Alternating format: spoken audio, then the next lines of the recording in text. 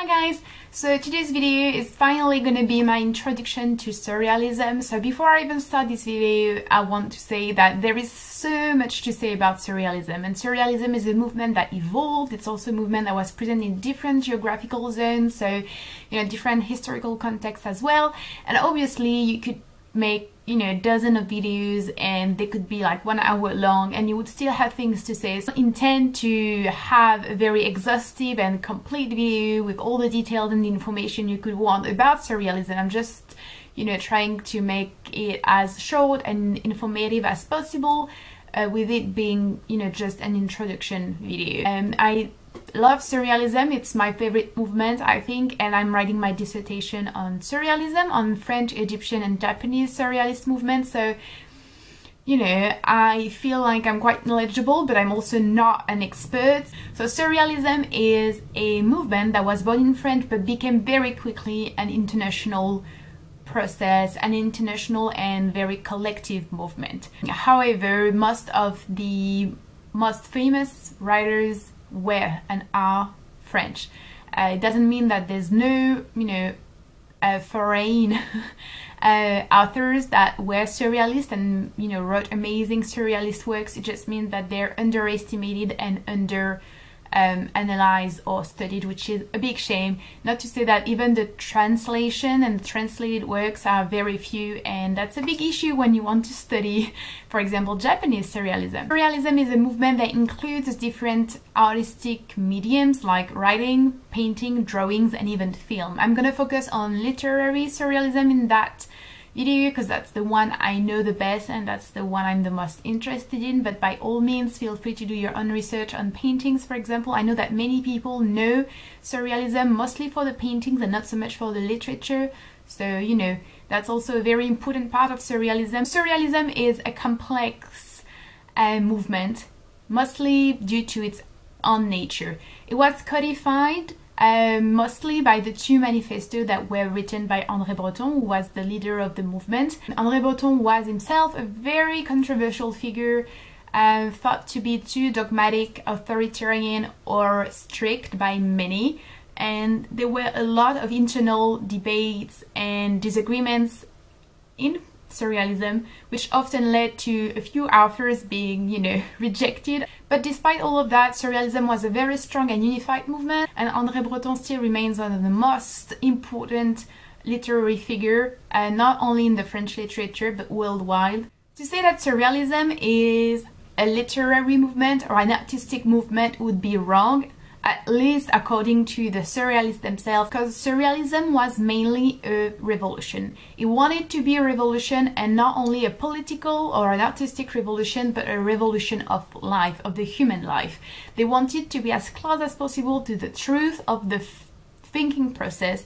They wanted to be a rebellion and a revolution of the thought, of the creation and of life itself, which explains the many exchanges and relationships that surrealism had with political fights and with communism, for example, and mostly with communism. As it was a revolution and also an artistic revolution, the literary production is often very difficult to understand. Um, and that's why I think many people kind of shy away from surrealist works. But one thing that you would have to understand is that I think wanting to understand surrealism is a bit of a it's a bit of an illusion, at least in the sense of you know, in the accepted and most usually accepted sense of the word understand. Because understanding surrealism and surrealist works is very different from understanding, let's say, a romanticism or realism. The way you read and the way you understand a realist novel is very different from the way you read and understand a surrealist essay or some surrealist poems. Obviously, being a revolution, surrealism had a lot of very new ways to create and ways to write.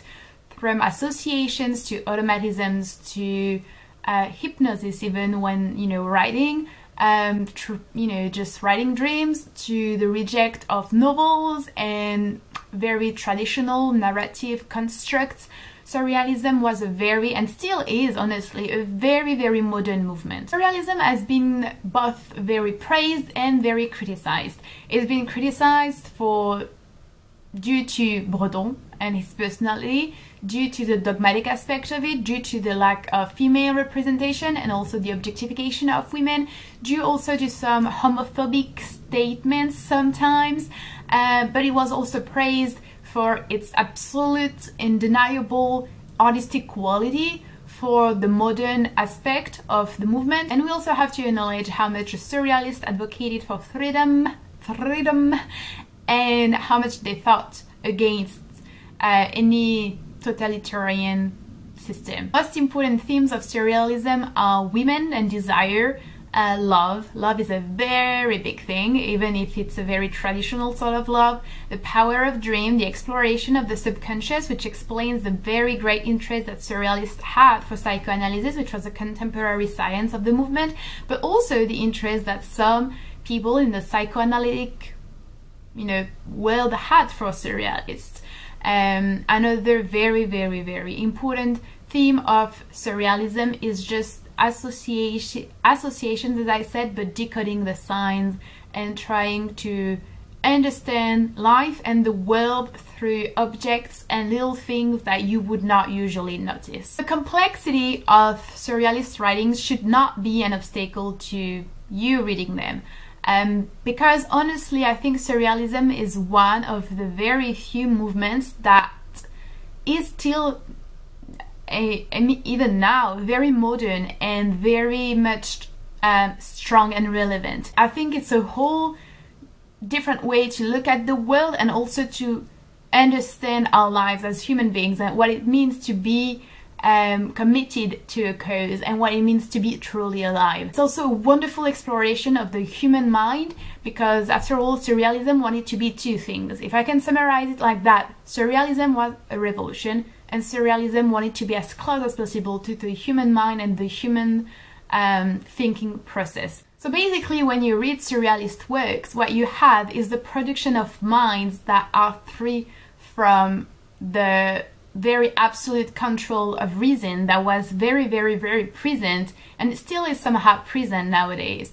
Um, so you have access to creation and productions that include madness, that look at madness differently, that look at, you know, fantasies and desires and even eroticism or even just luck and chance and coincidences, you know, differently. There's a lot more to say about surrealism and there would be know different videos to make like um, feminism and surrealism psychoanalysis and surrealism um, middle east and surrealism um, japanese and korean surrealism uh, Europe and surrealism, communism and surrealism, Dada and surrealism, which are by the way very different. What you have to kind of remember from that video is that surrealism is a revolution. It's a revolution of the mind, it's a revolution of life, which obviously translated itself or expressed itself through art as well, be it painting, writing, film, writing, drawing, whatever. The literary production is very modern and you would also have to remember how um, diverse it could be, yet how unified it remained. If we stick to French surrealism, a few authors I would really like to suggest are André Breton, obviously, uh, Aragon, very, very important as well, Éluard, uh, Reverdy, Michel Leiris, uh, and not my favorite at all, but Artaud was also a very interesting uh, author. Hope you enjoyed watching this video guys. I hope this was somehow interesting and informative. If you have any more questions, feel free to let me know and if you have anything specific that you would like me to talk about in link with surrealism I could try to do it if I see that this video is interesting for you. Um, yeah so I encourage you to go out buy a surrealist book and just experience it. It's amazing. Thank you for watching and I shall see you later. Bye